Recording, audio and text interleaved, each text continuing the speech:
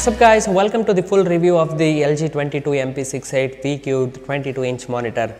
Now before I begin this review, if you are new to my channel, don't forget to subscribe. PC build guide is also coming soon on VickGeek. So first things first, why did I actually pick this monitor when there are so many other options available at this price range?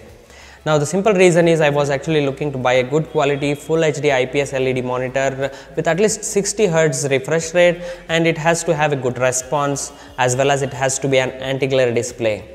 Because I am using this as my secondary monitor uh, to my primary monitor which is the Dell 24 inch monitor uh, that is also an IPS display and, and I am using this monitor for video editing, photo editing, color grading or even sometimes for gaming. Now while I was looking at the monitors online, believe it or not, there was actually a deal going on for this particular monitor and the monitor was listed at 7200 Indian rupees. Now for an IPS grade LED monitor which comes pre-calibrated out of the box and has a 75 Hz refresh rate, I mean seriously what else could I ask for? So I just picked this one up and here it is as you can see now. Opening the box other than the monitor and the stand itself you will find the usual cables such as the power adapter, one HDMI cable, a clip to neatly tuck or hide cables behind the monitor, a chart showing how your monitor is actually calibrated and the installation guide along with CD drivers. Now I recommend you install the drivers from the CD first or rather you can actually download it from their website and install the software. Setting up the monitor is again pretty straightforward.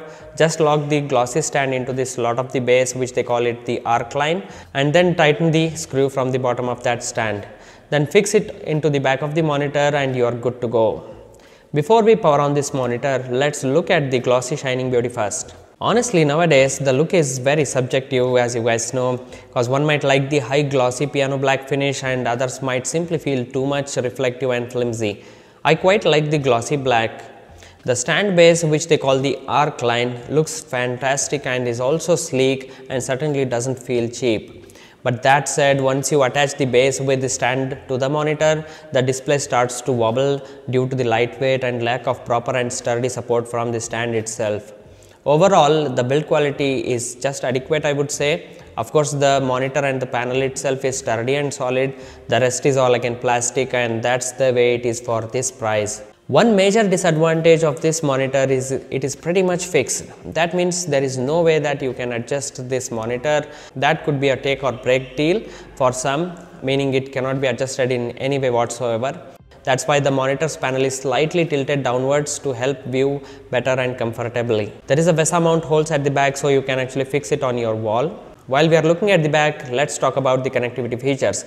Uh, there are just the basic ports in terms of connectivity such as one HDMI port, one DVI-D, one D-sub and a headphone jack port. Little disappointed as there is no USB port or an extra HDMI but again cannot complain much for uh, this price point. So powering on this monitor, when I looked at it first, I'm happy to report that there was absolutely no light bleeding across the display panel. So everything was uniformly lit and that's a plus thing since it comes pre-calibrated out of the box and it just looks stunning as you turn on the monitor. Make sure to install the software and drivers like I said earlier. The colors are very well resolved and it looks really nice as you uh, just turn on the monitor. Now don't expect professional grade colors meaning this display supports only up to 72% color gamut as compared to my professional Dell monitor which supports over 85% color gamut. So the colors may look little washed out or little off but if you are not professional and don't know much about the color science, you will surely love this display. Brightness is average at uh, 250 candelas per meter square and add to that it has an anti-glare display with level 3 hardness coating. The brightness is absolutely fine in most working conditions. Now blacks are deep, contrast is just enough for any media content viewing. The menu is accessed from the bottom of the display via a joystick which is actually my favorite way to navigate through the menu functions. Speaking of the menu functions, another thing that I really loved about this monitor is how much control you have over your monitor. Look at these menu functions. You can literally tweak individual colors with all the other things to make this monitor show colors very very accurately. There is uh, the reader mode wherein it compensates the lights and the colors for the reading pleasure which is again good for the eyes. There is four screen split through which you can actually actually work while playing games or while video calling or while even browsing the internet. So you can literally do many things in just one monitor.